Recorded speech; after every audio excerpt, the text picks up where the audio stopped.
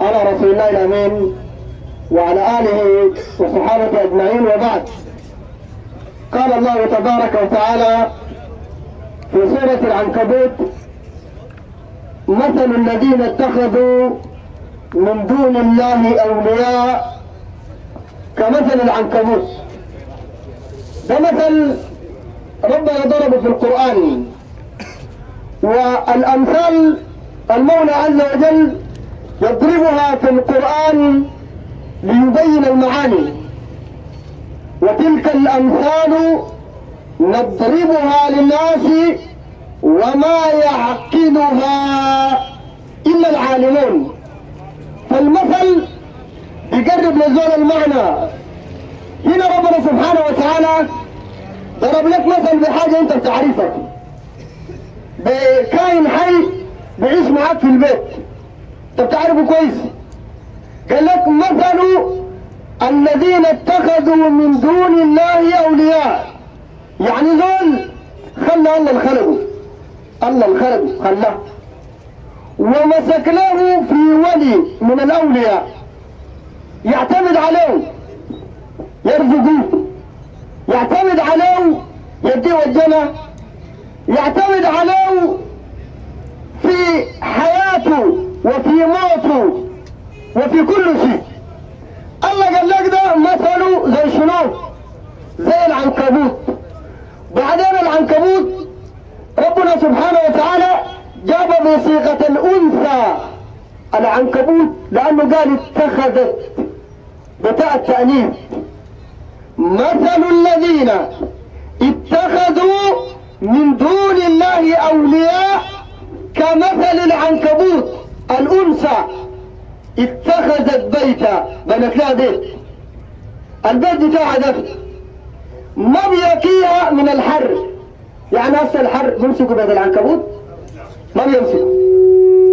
البرد ما بيمسكوا. لو شلت حجر جدعته ما بيحميها. الله قال اتخذت بيتا. هي بتسميه بيت والبيت ده المعروف انه بيحميك وبيكون لك حراسه لك انت.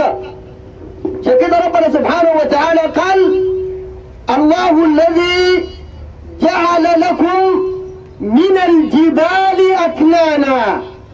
يعني في ناس بيسكنوا جوا الجبال الجبل ده بتعملوا بيت مأوى لك وجعل لكم من جلود الأنعام سكنا إلى آخر بيوتا تستخفونها يوم ظعنكم ويوم إقامتكم ومن أصواتها وأوبارها وأشعارها أثاثا ومتاعا إلى حين.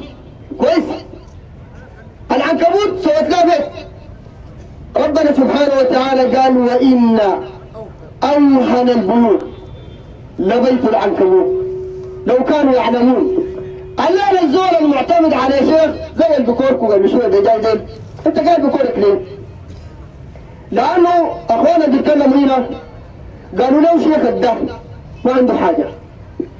زي ما ربنا في القرآن قال لا يملكون لأنفسهم نفعا ها؟ ضرا ولا نفعا ولا موتا ولا حياة ولا مشورة يا اخوانا زول اللي رقبته ما عنده دير كله عنده جبت حاجة؟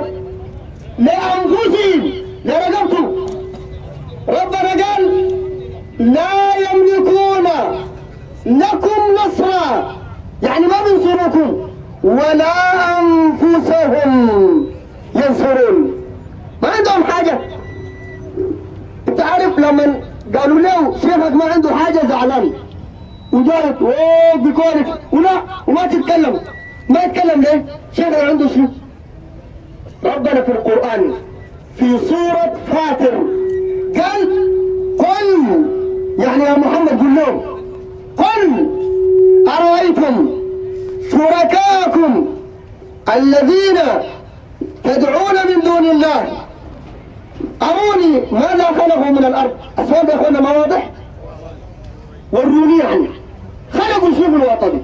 أروني ماذا خلقوا الأرض دي كلها فيها تراب فيها جبال عالية فيها أشجار فيها أنهار وأخاديد وأودية وخلجان. سووا شنو من الواطة دي كلها؟ يعني هسه إحنا ممكن نوجه السؤال ده لأي زول تابع للبرعي وتابع للصايم ديما والتابعين لو يتحسونا وهل لما جاء ناس الجزيرة التابعين لو يا ناس أروني. ماذا خلقوا من الأرض؟ مش كده بس. الله قال لهم أم لهم شرك في السماوات؟ أها كمان السماء عندهم فيها حاجة؟ لا في الأرض لا في السماء. بعد ذاك ربنا قال بل إن يعد الظالمون بعضهم بعضا إلا غرورا. ما عندهم شيخ. سبحان الله. ربنا قال قل أروني الذين ألحقتم به. شركاء. عندهم شنو؟ شوف ربنا في سورة لقمان اتكلم عن الخلق ده كله. قال خلق السماوات. السماء فوق دي. خلق السماوات بغير عمد ترونها وألقى في الأرض وطف رواسي يعني شو؟ يعني جبال. وألقى في الأرض رواسي. أن تميد بكم وبث فيها من كل دابة. أي شيء مش فوق الوطن. وأنزلنا بعد ذلك من السماء ماء فأنبتنا. قوم فيها. الموية نزلت من السماء فأنبتنا فيها من كل زوج كريم. بعدين قال شنو؟ قال هذا خلق الله. فأروني ماذا خلق الذين من دوني؟ يا إخوان السؤال ده ما واضح؟ فأروني ماذا خلق الذين من دوني؟ أسأل بعيط ويجعي البرعي وجلبة وزوطة يا برعيك ده خلق شنو؟ اديني عتوت مكتوب فيه ميد إن البرعي في ما في صح؟ ربنا سألك سؤال ثاني. قال أفمن يخلق كمن لا يخلق؟ سوى الاثنين. اللي بيخلق وما بيخلق واحد؟ ما سوى. أفلا تذكرون؟ وإن تعدوا نعمة الله سبحانه شوف بلغت القرآن. وإن تعدوا قال لك النعمة الواحدة. لو عاد كيف؟ النعمة الواحدة بعدوها يعني شو النعمة بما؟ نعمة واحدة. لا لا معناها ما كده. معناها لو قعدت تحسب النعمة مثلا العين دي العين. لو حسبت فضائل العين دي على كتفك ما بتقدر تح- تحصيها. العين فيها ها؟ والعين جمال لا كسر العين ما فيش مقبولة برا. بتجي فانوس واحد. ما بتتقابل. صح؟ جمال ليك انت وانظر. جميل. العين فضائلة. اللسان ده تتكلم به وتدوق به هسه عليك الله. لو فقدت بس نعمة الضواقة دي تدوق يعني لو بقت عندك الطعمية والبرجر واحد دي مشكلة. أما قال لك وإن تعدوا نعمة الله. عليك الله بعد. الله يسوي ده كله. كله سوى الله. تذوق وتأكل وتنبع. حرام وحلال وت... يأكل الصوفي. تضرب سايف بعد. بدل يرفع يديه ويشكر الله. اقعد يقول كمل برهي إحنا ده ما كان جانا. تبا ليكل البرهي بتاعك. كلام فارغ. كلام فارغ ده. عشان كده شوف ده كله.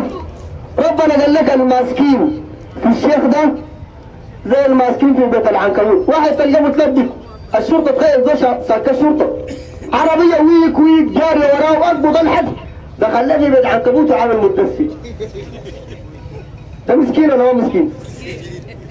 ده مش ما عنده عقل؟ مش ما بيفهم؟ ابلد منه الماسك في الشيخ. ابلد منه. وأسوأ منه. لأنه ما عنده لك حاجة. يا أخي تخيل معاي. أنت طيب تشكي يا زول. ابو يا وقع ظهري ظهري. تلقى دفنوه من سنه 86 مدفون في الوطن. ده تلقى بيشكي ابو يا شيخ ظهري. طيب قد أمرك أبوك الشيخ ده شوف ظهره يا ظهر ما عنده ذاته يا أخي. ما يهديك يا أخي. يحتل ما عندهم حاجة. يا ناس يا بشر ما تمسك لك في إبراهيم ده ما عنده لك شيء يا ناس خليك من البراعي. البراعي ما عنده حاجة عارفينها سيبك من ده. الأنبياء العظام مكانتهم عند الله عالية. النبي صلى الله عليه وسلم أعظم نبي وأعظم رسول وأفضل زول خلق والله. يوم من الأيام كان بيدعو على مجموعة من الكفار كانوا آنذاك كفار سهيل بن عمرو والحارث بن هشام. كان بيدعو عليهم. دعاء شديد. ربنا نزل عليه آية من السماء. قال له ليس لك من الأمر شيء. أو يتوب عليهم أو يعذبهم فإنهم ظالمون. قال له ما عندك من الأمر شيء؟ السيجيك متع الختمية قال الكون الكون ده كله أعلاه أسفله في طريق الدفن والنبي النبي الكريم النبي رسول الله الله قال له ليس لك من الأمر شيء. فهمت كلامي ده؟ البرعي قال ألا يا رجال الغيب أنتم ما ما الله أنتم حصولنا. الكلام ده صح السائل البكورك ده لابس طاقية خضراء ولا لابس لك كورة براسك الكلام ده صح؟ بتلف الدور علينا. تتحرب الإسلام ولا شو؟ ما الله قال لهم أنتم حصولنا. أنتوا الحسن حقنا بحمينا يا ناس في أحد بيحمينا غير الله؟ الله في سورة الأنبياء سأل سؤال. قال قل من يكلوكم يكلى معناه يحمي. قل من يكلوكم بالليل والنهار من الرحمن. بل أنتم بل هم عن ذكر ربهم معرضون. عند حميد مسلم قل من ينجيكم من ظلمات البر والبحر. تدعونه تضرعا وخفية على سورة الأنعام البراي قال لا لا لا لا لا. قال لنا وين أنتوا دير حصولنا أول حاجة ده بالشريعه كذاب مجرم مشرك. دي بالشريعه أما بالواقع برضه كذاب هسه في السودان ده الأولياء حاملنا وين إحنا الأولياء. وين يا ناس نحن شعب جعان معلش بعدين برا فهمت مات ولا حيروح كده ولا كده. فهمت كلامي؟ نحن في البلد دي مصنفين ضمن الشعوب الجعانة. انت عارف المعلومة دي؟ الان السودان مصنف معلومة الأولى يا حاج أقول ما أشتغل والله يا ناس. برا يخليهم تحت برا يخليهم تحت انت غادي غادي نحن والله برا ينام عندنا ما يساوي التراب والتهيد أحسن من البراي أنا شفت عندك البراي كلام فارغ. وعليك اما شوف شوف بالله شعبنا مسكين كيف. أنا من جبال بتكلم بقول لك الله قال والله قال والله قال. والبرع يخالف كلام الله بدل زول يكون عنده دماغ وعنده ذرة عقل ويفهم الكلام ده يجي يقول لك البرع مات ولا حي. مالي ما أنا يموت في حياة أنا ما عندي معه شغلة. وفرعون ربنا وتتكلم عنه في القرآن. في كم سورة تكلم عنه؟ أكثر قصة في القرآن ده. أكثر قصة. أمشي أقرأ. القرآن ده مين جديد. أكثر قصة في القرآن قصة فرعون. صح ولا ما صح؟ وفرعون ده إيه؟ حي ولا ميت؟ يكون حي يعني؟ ما زمان. زمان قبال النبي ذاته. يا ناس والقرآن وإنت تتعبد بتلاوه القصة بتاعت فرعون ليوم الدين. الناس تتعبدوا بيها. يجيبوا لك القرع مات ما ضل الوعد ده وكان مات باحترام إحنا الناس بتتكلم فيه؟ في دول مات محترم من اساله مو شايح الناس اللي ماتوا كتار. كتار ماتوا. لكن الزول محترم بياكل الكسره بتاعته دي ويموت. ما سالناه يا أخي لكن زول يموت ويوسخ الوطن كله وسخ البلد دي بقصايد وبأفكار خربه عشان كده شوف اللي بيدافع عن عن عن الزول ده. إما زول جاهل مسكين ساي النوعيه بيقول هشوف الكسره يضرب ده كسره كده مع الصوبيه دي ضربته ويقول لك يا سلام. طريقه سمحة خلاص. طريقه سمحة ولا الكسره حارة؟ طب تلعب ثلاثة ولا شوف يا زلمة افهم افهم دينك. الزول ده البرعي قال أنا يا رجال الغيب أنتم قال له رسولنا قال وما زال مسبولا على الناس ستركم. أنتم قال ساترين لنا قال أيلحقني ضيم وأنتم حمايتي أنا يجيني دور وأنتم قاعدين؟ معقول؟ كذاب والله الدور جاي وأنت قاعد. والبرع قاعد الدور وفي دور أكثر من القاعد السدد يعني الدور ما في حتة قاعد. الزول الحارس بتاع الزريبة بتاعت البرع بتاعت بتاعت إسماعيل الولي قبل سنوات الزول ده ذبحوه جنب القبة. ده ما نحن. نحن الذبح ده ما عندنا. ده شغل بتاع داعش وغيره مكفرين وأخوان مسلمين. ده شغل. نحن ذبح إحنا كان ذبح كان عندنا إنه ده كان اجازه فلك بين في المحل هنا ما عندنا ده. نحن بنكلم الميكروفون ده انت ده نظامنا معاك. بنكلمك بنقول لك ده حق وده باطل. ما بنذبح لنا زول لا بندق لنا زول. ده عندنا ما شغل. فهمت؟ ده شغل الحكومة. السوق الضلع وكده ده ده النظام بتاع الحكومة. سواء شايفين السعوديه شغالة كيف؟ بس نظيف. أي واحد يتبنى فكر خرب يكفر يطلع من الملة يقول لك راسه. ولا أنتم معه شغلة. تقول لهم أنا كده وأنا ما قاصد قاصد بتاع شنو؟ تقول كفر يقطعوا راسك. كذا أقول لك حاجة احسن جاي ده ولا واحد. كذا امشي السعودية جرب. جرب دي حزبات هناك ها؟ أفرش في جدة. علينا جاي. جاب العارض علشان يجيك عارض يوريك العارض كيف كذلك مستحضرين سيارك الله يغشوا المساكين بتاعنا إحنا دول وهذا يقول لا اجابه قال أبو القنفذ ده في الجريده جايبينه أبو القنفذ قال بفك العرض يا أبو القنفذ قال لي فك البوره بتاعت البنات. لا أبو القنفذ ده كان بيعرسني من صد إحنا يعني كان قال أنا جاي اعرس يا ناس. ادق الباب واخد الفلانه دي. معلش لا يفكها كيف في بايره تقول الله الا الله يرزقها بعريس فهمت؟ بالحسابات اللي بنعرف إحنا. على أي حال لا برا بحميد لا صايمديمة بحميد ولا بحم رقبتهم دي الزول بتاعهم ده كتنوا جنب القبة ودونوا البلاغ الصوفية. دونوا البلاغ ضد مجهول مجهول كيف تقول علام الغيوب كيف بلاغ ضد مجهول ما كان طوال يقول أيوه العمل العمل إحنا. ومش تقولوا تعرفناه تقبضوا قبل ما يعملها. ما تخلوا بعد ما يا أخي حوار عمره 80 سنة. بيخدم في التصوف ده. كم عقد من الزمان بيخدم في التصوف يفضحوا يا صوفيه يا أخي أنتوا ما شايفين شغلكم ولا شو؟ شيخ اللمين بلاش كلام فارغ السلمين وينه؟ اكلوا الدودو وين؟ وأنت اكلوا أبو ظبي اللمين ما اتبجح وشغال وشيخنا قال ماشيين بنفسه ماشي بنفسه اسال نفس الشيخ انقطع ولا شو؟ وين؟ قاموا ده كذاب قوارق عارف أمره منه العرب دول بينات عندهم بلاغ اسمه احتيالي. دولوا كذا عارف بيمرقك من الشبكة بتاعت الجماعة دول أكمل أنت عارف؟ لقيت قبل أيام مطلعين صورة قال تعيين خليفة جديد لليمين ودي نظارات كده. يا زول 57. يا شيخ طريقه أنا شفته. الشكل واد ممسح وعلاقه كيف؟ ما عارف.